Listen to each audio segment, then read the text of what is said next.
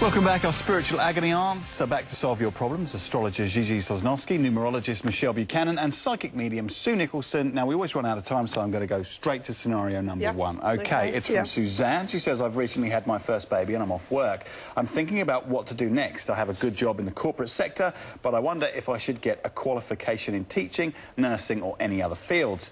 What do you think? Or should I just spend the extra time on my hobbies? Will studying leave me with no time and energy for my baby and husband? Now, Sue, because you're sat next to me, I'm going to you. Okay, first. first of all, don't make any major changes, okay? Because the thing is, you need to enjoy the time with your baby.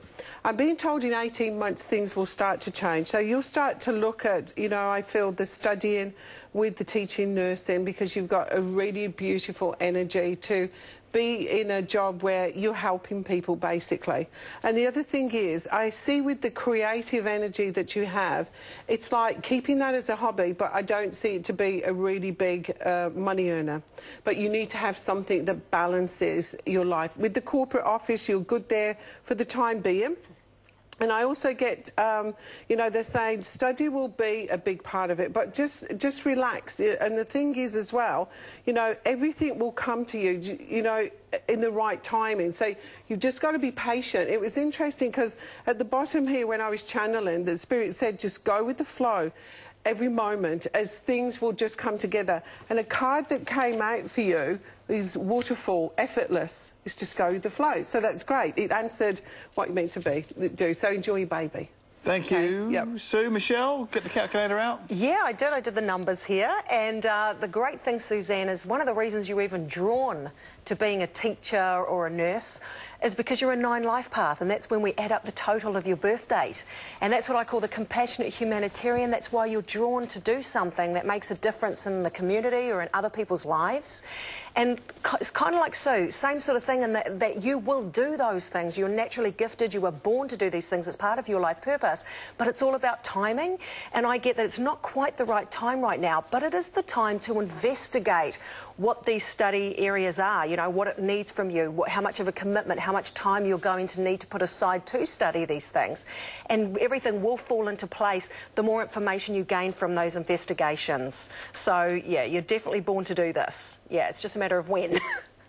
Thank you, Michelle. Gigi, what's in the stars? Well, astrologically, Suzanne, you're coming into one of the most important and pivotal times of your life, your Saturn return. You are now entering a new time of responsibility, not only to others, but to yourself. And this has a lot to do with planning your future, your life directions, and getting on track with that life purpose. You really are coming into a time where you can understand more of the things that you want to do with your life, explore more of those passions. You have a wonderful chart indicating communication, creativity, imagination. You do need to use that. In fact, you would be excellent at doing teaching, educational realms, things of that nature. You have a wonderful mind, you have a wonderful ability to use it and inspire others. You're needing to do that. But don't overthink, don't over worry, don't over consider all of the options. And also try to build up a little more of that self awareness and uh, lack of, you know, self respect.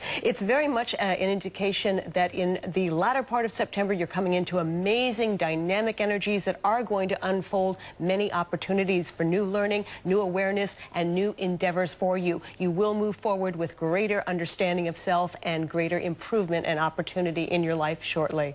Thank you, Gigi. Now, Angela's written to us. She says, My boyfriend of seven years has had to move to Melbourne for work.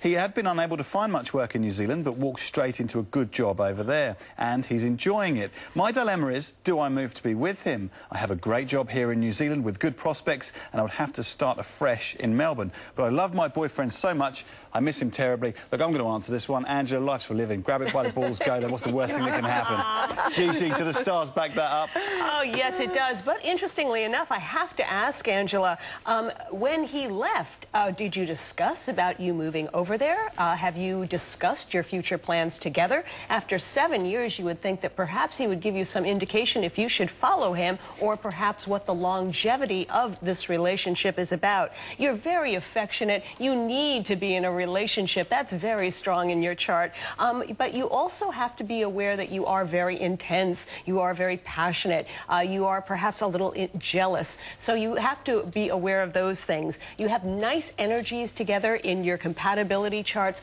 but it also does indicate you have to be on the same page when it comes to long-term commitment. Make sure you are both seeing the same path for your connection together. Uh, there is indications of perhaps unclear goals or indications of uh, not necessarily seeing the same thing. So be aware of that. December looks like a great time for you to go over there and try it out, visit, talk about your future together, possible relocation in March 2013, but make sure you have a job and make sure you're on track with your partner as you're seeing the same direction for your relationship. Thanks, Gigi. Pretty specific there. Michelle? Yeah, I can back that up. Uh, you're in a five personal year this year, and that's all about change, movement. Unexpected change, things can come from left field where your plans may not go the way that you thought that they were going to go, and that's to do with your career. Now, beauty about this is you're an eight life path, and the eight represents business, money, career. This means if you have a positive mindset about your opportunities and your potential with work, you will be successful in your career no matter whether it's in New Zealand, Australia, or anywhere else in the world. So, totally go for it. It's a time for change and movement, and you will be successful regardless with your career. But be positive, okay, and believe that you'll get a good job over there, and you will. Thank you very much, Michelle. Sue? Okay, well, he was meant to go, Angela. And the thing is, it's like he had to go. And I feel that this will actually bring you closer together. Now, I know you've got a great job here, great job prospects, etc., etc. But at the end of the day, you're going to miss your true love. That's what it's all about. And you're not going to be happy whatsoever in any job if you stay here. So, what Spirit was saying, this is another part of the journey of your life. So, you just need to, I think you, you've got to make plans that when you're going to go there, you know, um, sorting things out, try and find a job before you actually get there.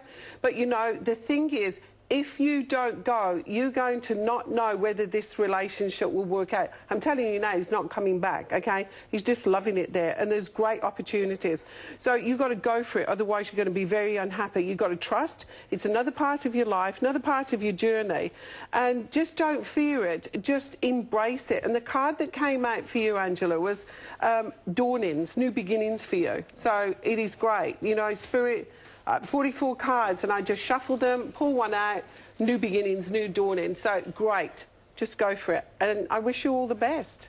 Thank you very much, ladies. Thank okay, you. You're welcome. Yep. If you've got a dilemma you'd uh, like help with, email the Destiny and Dilemmas panel at goodmorning at tvnz.co.nz and we'll put forward your problems to them. Right, now, back to tackle Adele, the fearless, feisty and fabulous eight-year-old... Yeah, hey? I haven't finished yet. Do you mind? I thought you'd have seen that coming. You're a bunch of psychics. right. Here's Mia Downing. we did it. We made the time.